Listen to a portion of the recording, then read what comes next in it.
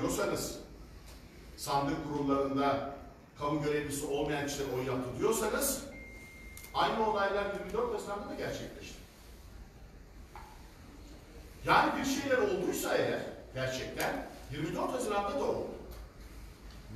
Siz Sayın Ekrem İmamoğlu'nun seçimi şahit ediyorsanız 24 Haziran'daki Cumhurbaşkanı Sayın Recep Tayyip Erdoğan seçiminde şahit. Siz eğer İstanbul Büyükşehir Belediye Başkanı Sayın Ekrem İmamoğlu seçimi meşru, yasal değil diyorsanız 24 Haziran'da gerçekleşen Cumhurbaşkanlığı seçimi de meşru değil, yasal değil. Çünkü 24 Haziran'da da Türkiye genelinde on binlerce kamu görevlisi olmayan kişi sandıklarda görev yaptı. Türkiye genelinde on binlerce.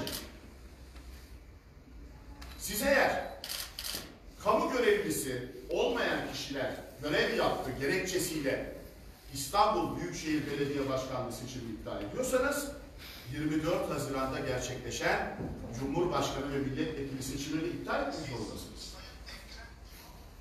Tam kanunsuzluk sebebiyle başvurduk seçim kurulu. Biliyorsunuz tam kanunsuzlukta süre şartı aranmaz. Bu bir olağanüstü itiraz değil.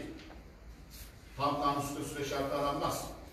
Bir tam kanunsuzluk ortaya çıkmışsa eğer ki Yüksek Seçim Kurulu kendi iptal kararıyla kamu görevlisi olmayanlar görev yaptı ve bu da seçimin iptalini gerektirir diyorsa o zaman 24 Haziran seçimlerini iptal etmek zorunda.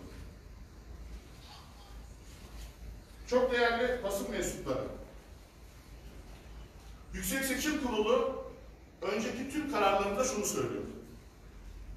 Hatta bu seçim döneminde verdiği 14 Nisan 2019 tarihli Erzurum Pasinler kararı, 20 Nisan 2019 tarihli Bursa Mustafa Kemal Paşa kararı ve önceki birçok kararında Yüksek Seçim Kurulu şöyle diyor. Bir usulsüzlük varsa dahi bu seçimin iptalini kesinlikle mümkün kılmaz. Usulsüzlük yapanlar cezalandırılır. O bizim için ayrı bir konudur. Sandık kurullarının teşkilinde bir sorun varsa diyordu, bu beni ilgilendirmez. Ben seçmenin iradesini sakatlayamam. Sandık başındaki iş ve işlemlerde bir usulsüzlük olduğu somut delillerle ortaya konmadıkça ben seçimi yenilemem diyor. Önceki tüm kararlarında, yıllarca verdiği kararlarda iradesini hep seçmenin iradesinden yana koydu. Referandumda gerçekleşen mühürsüz oy kararı kanunun açık hükmüne rağmen seçim kurulu dedi ki benim için esas olan seçmen iradesidir. Evet, oy pusularının saflarının sandık kurullarınca mühürlenmesi gerekirdi yasaya göre ama seçmen o sandıklarda oy kullandı ve ben onun, onun iradesini sakatlayamam demiştim. Şimdi ne değişti? Bugün ne değişti? Sandık kurullarında görev yapan kişilerin o sandıktan çıkan sonucu etkilediklerine dair somut bir delil AK Parti'nin itiraz dilekçesinde dahi ortaya konmadı. 31 Mart yerel seçiminden sonra günlerce, haftalarca oylar sayıldı, sayıldı, sayıldı, yeniden sayıldı, yeniden sayıldı. Seçimin seçimini seçimini yaptı. Sonuç değişmedi. Bu sefer başka iddialar ortaya atıldı. Kısıtlı seçmen dendi, olmadı. Tutuklular, hükümlüler dendi, olmadı. Zihinsel engelliler dendi, olmadı. Ölü seçmen dendi, olmadı. Sahte seçmen dendi, olmadı. Olmadı, olmadı. En sonunda dendi ki ya sandık kurullarında kamu görevlisi olmayan kişiler görev yapmış. 24 Haziran'da da yaptı. 24 Haziran'da da yaptı. O zaman kanunun amacı, ruhu, iradesi buysa ve Yüksek Seçim Kurulu bunu gerekçe yapıyorsa 24 Haziran Cumhurbaşkanı seçiminin ve milletvekili seçiminin de iptali gerekir. Sayın Ekrem İmamoğlu'nun mazbatasını iptal ediyorsanız yani bu kararınız doğruysa bu kararınızın arkasındaysanız o zaman Sayın Recep Tayyip Erdoğan'ın da mazbatasını iptal etmek zorundasınız. Çünkü bir tam kanunsuzluk ortaya çıkardınız. Bunu biz değil, Yüksek Seçim Kurulu ortaya çıkardı. Değerli basın mensupları, sandık kurulunda görev yapan başkan ve memur üyelerin belirlenmesinde seçmenlerin hiçbir dahli yok, iradesi yok. Siyasi partilerin hiçbir iradesi dahli yok. Adayların da yok. Tamamen Yüksek Seçim Kurulu'nun denetiminde ve gözetiminde ilçe seçim kurullarınca gerçekleştiriliyor bu işlemler. İstanbul'da görev yapan sandık kurulu başkan ve üyelerini Sayın Ekrem İmamoğlu'nun belirledi. Siz kendi kusurunuzu nasıl seçmene yüklersiniz? Nasıl seçmenin iradesini yok sayarsınız?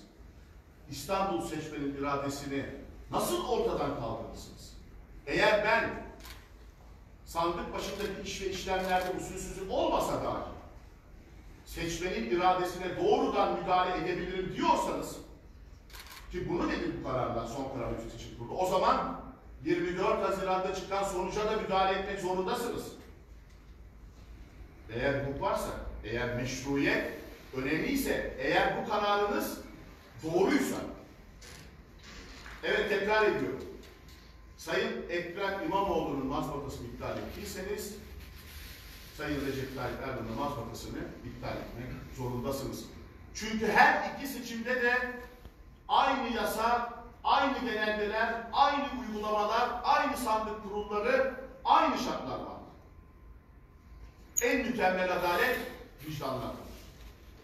Milletin vicdanına adalet tecelli ettirmek istiyorsanız, meşruiyet sorununu ortadan kaldırmak istiyorsanız, benim verdiğim bu son karar doğrudur diyorsanız, 24 Haziran seçimlerini de iptal etmek zorundasınız. İşte onun için başvurdum. Ve ayrıca dedik ki, Ekrem İmamoğlu'nu kim seçti?